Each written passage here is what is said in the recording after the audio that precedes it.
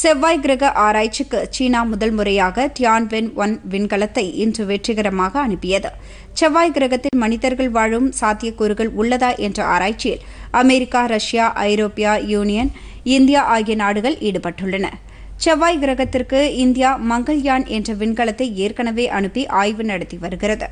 ஐக்கிய அரபு எமிரேட் சார்பில் செவ்வாய் கிரகத்துக்கு கடந்த இருபதாம் தேதி விண்கலம் அனுப்பப்பட்டது. தற்போது சீனாவும் செவ்வாய் கிரகத்திற்கு தனது முதல் விண்கலத்தை இன்று வெற்றிகரமாக அனுப்பியது. இந்த விண்கலத்திற்கு டியான்வென் ஒன் என பெயரிடப்பட்டுள்ளது. இந்த விண்கலம் சீனாவின் ஹைனான் தீவில் உள்ள வென்சாங் ஏவுதளத்திலிருந்து லாங் மார்ச் ஃபைவ் என்ற ராக்கெட் மூலம் இன்று விண்ணுக்கு அனுப்பப்பட்டது.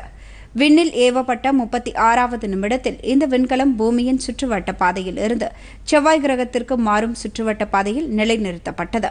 விண்வெளியில் ஏழு மாத பயணத்திற்கு பின் இந்த விண்கலம் செவ்வாய் கிரக சுற்றுவட்ட பாதையை சென்றடையும். டியான்வென் ஒன் என்ற விண்கலத்தில் ஆர்பிட்டர் லேண்டர் ரோவர் என மூன்று முக்கிய பாகங்கள் உள்ளன.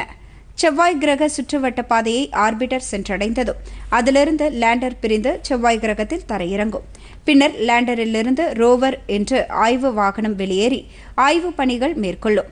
இந்த ரோவர் வாகனத்தில் ஆறு சக்கரங்கள் நான்கு சூரிய மின்சக்தி தகடுகள் ஆறு அறிவியல் ஆய்வு உபகரணங்கள் உள்ளன. செவ்வாய் கிரகத்தில் புவியியல் அமைப்பு சுற்றுச்சூழல் வளிமண்டலம் மற்றும் தண்ணீர் ஆகியவை குறித்து ரோவர் ஆய்வு பணி மேற்கொள்ளும்.